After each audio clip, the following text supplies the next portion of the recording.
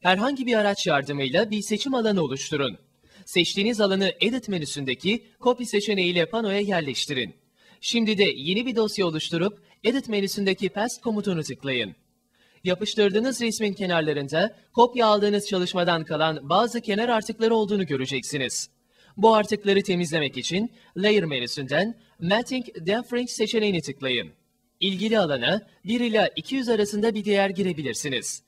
Resim kenarlarında girilen değer doğrultusunda düzeltmeler yapılacaktır.